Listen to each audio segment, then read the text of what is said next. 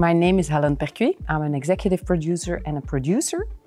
And together with another producer, screenwriter, showrunner, Philippe de Schepper, we own Belgium's smallest production company called Jonnydepony. We have recently produced Blackout, Transport and Arcadia. Transport is a Finnish a series of eight episodes. It talks about food fraud and in fact it is um, Tekele, a small production company of Finland, that reached out to us and the, the story on horse trading sounded familiar to us because also in Belgium we have very famous horse traders. Uh, so we liked the story and we liked the people behind uh, the company. We were an all-female team, which was refreshing for once. For transport, we co-produced and also co-financed. So I found money with streams, also with Screen Flanders and also with Tax Shelter. Um, and we worked together uh, with the Finnish crew, so both with a Flemish crew and a Finnish crew in Flanders. And it was a really nice collaboration. The cast was quite impressive. So we had um, Lynn van Royen as one of the leads and also Geert van Rampelberg, amongst many others. The world of Arcadia is a near-fi. So for the first time we created a sci-fi series in the Benelux.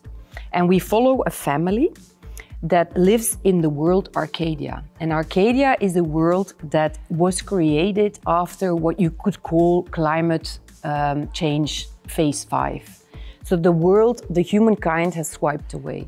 And we follow a family because in Arcadia, you are supposed to eat well, work well, live well, and you are controlled by a citizen score. Beside VRT, which is our public broadcaster, we took KRO-NCRV, NPO, on board, and also the German public broadcaster came on board, WDR.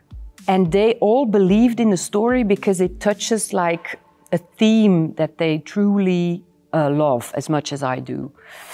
So grew into a co-production. Of course, with a budget this high, because Philippe and me, we have quite some experience, but it's really a high budget. We needed everything possible. So beside the broadcasters, we also got Screen Flanders on board, and we also got, of course, Tax Shelter and also the Dutch incentive. So the interiors we built in studio in Flanders, a huge studio, but the exteriors we found in France, in the Netherlands, in Belgium and in Germany. The first time I entered into the light studio, I was blown away myself. And I had seen, you know, the drawings and everything because it was huge. I had never ever seen a Flemish set looking that spectacular. For co-production to happen, I think that we, both Philippe and me, we have to love the story first. Beside the story, that is for us the most important, we look at the professionalism of the company. Um, we have a lot of know-how, are very down to earth, um, and we like, we truly like being efficient.